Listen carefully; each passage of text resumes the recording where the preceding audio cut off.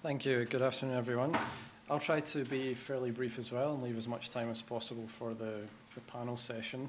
I'd like to start by just putting uh, things in context in terms of the current regulatory framework um, with respect to money market funds. Then I'll say a little bit about what uh, ESMA and its predecessor, uh, CESR, have already done in this area. Uh, and I'll finish with a few remarks uh, on the most recent and current initiatives in relation to, to money market funds. Before I do that, and uh, I prefer not to do this, but I'm kind of obliged to in the case that we're on the record here. Um, are on the record, yes. These, these are my, to the extent that I talk about any of the current initiatives, the Commission proposal, these are purely personal views. Um, ESMA doesn't have a formal position yet uh, on uh, the money market fund regulation. Um, but of course, the time will come uh, probably quite soon when we have to start making decisions uh, on that regulation. So just first of all, I think it's worth bearing in mind that money market funds clearly are investment funds, and we have quite a lot of harmonized and detailed regulation in the European Union in, in the case of investment funds. We have the UCITS directive, and most of money market funds are subject to the UCITS directive. Uh, that's been in place since 1985. It's been through a number of um, iterations and revisions since then, and it's now one of the most detailed uh, sets of regulation that we have in the EU in terms of product regulation. You also have detailed and uh, quite heavy rules on risk management, liquidity, conduct of business rules, uh, and other things. Um, the UCITS directive at level one uh, is of course supplemented by a number of level two directives and regulations and by an extensive set of guidelines developed by, by ESMA. Um, of course, money market funds do not necessarily have to be captured by UCITS. They may also be um, under the scope of the AIFMD, the Alternative Investment Fund Managers Directive. Uh, so as of 22nd of July of last year, um, there is, again, a harmonized regulatory framework that will apply to the managers of those money market funds that were not captured by, by UCITS. So I think we just have to bear that in mind. We're not starting from scratch when it comes to uh, money market fund regulation, but of course, um, a number of additional risks uh, have been identified that would indeed merit uh, further and more targeted action by legislators and regulators. The second area I wanted to, to just touch on briefly um, are the guidelines that ESMA's predecessor, CESR, issued in May 2010 uh, the guidelines on a common de definition of money market funds in Europe. Um, so already before the current debates, uh, international and European level, quite a lot of work had been done uh, to harmonize the regulatory framework for money market funds. And we did that from a investor protection perspective, um, having seen from the crisis and certain specific cases that things had been bought by money market funds, certain investments which the average investor probably wouldn't have expected to be in that type of fund. So um, we, we decided to take action there. And also from a more systemic uh, perspective, because we were already aware at that time of the run risk and the liquidity risk that uh, has been talked about much more in recent times. And so by increasing um, and strengthening the rules on the eligible investments for these funds, for the credit quality of the instruments into which they can invest and, and other things, uh, we could already strengthen um, the safeguards. So those guidelines um, already address quite a lot of the issues that were uh, identified, for example, by IOSCO in its report of 2012, be it on the eligible investments, on uh, the limits on maturity and liquidity, the credit quality that I mentioned. Um, we also um, introduced for the first time this idea of two categories of funds, short-term money market funds versus money market funds. Um, and in that context, uh, already in, in, at that time, we tried to put in place some kind of uh, safeguard in relation to the use of amortized cost and of uh, constant net asset value.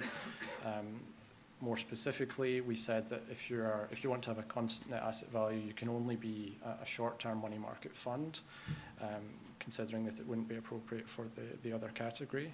Um, and we emphasized the importance when the, there is an amortized cost valuation method of making sure that there's not too much of a discrepancy between the value placed using that method and the value arrived at uh, based on a market value. And if there, are a, if there is to be a material discrepancy, then uh, something should be done by, by the manager. Um, finally, um, just talking about some of the recent and um, current initiatives on money market funds. So I touched on the IOSCO work. We all know about the important work done by the ESRB. Um, we have lots of discussions that we've seen in the US that have led to certain proposals by the SEC, um, and most recently the, the Commission proposal for a regulation. A few remarks on, on the, uh, some of the key points from an ESMA perspective. Um, obviously, the Commission proposal didn't foresee a supervision role for ESMA, but that's something that's come up in the European Parliament discussions. It's obviously very um, heartening to be given that sort of confidence by uh, the, the, Parliament that ESMA should have a role there. Um, just a couple of things maybe that should be borne in mind in those discussions. It's something we always say uh, when we're uh, potentially going to be given new powers. We need to have the resource uh, to do that. I don't know if you're aware, but ESMA remains a relatively small authority. We're about 130, 140 people now covering all of the securities markets files. Um, so if we're going to be given a role, uh, and there are good arguments for that on supervision of certain money market funds, that would have to be backed up uh, with the necessary resource in terms of budget and headcount. Um, on the, the CNAV and, and the capital buffer, um, as I said, I mean, there's no specific or formal ESMA position on, on that at the moment what I would say just personally is that if uh, indeed we're going to put in place that buffer, it needs to be um, done over a certain period of time to allow the, the managers and uh, industry and investors to adapt. And at the same time, if all the evidence shows that the buffer is in fact um, going to make it um, uneconomic to have that kind of fund, then probably it's more transparent and straightforward simply to say, well, let's get rid of that kind of fund. Um, but I think there are a lot of debates that have to go on there and no doubt the correct percentage for the buffer will be subject to lots of exchanges within the, the Council and the Parliament.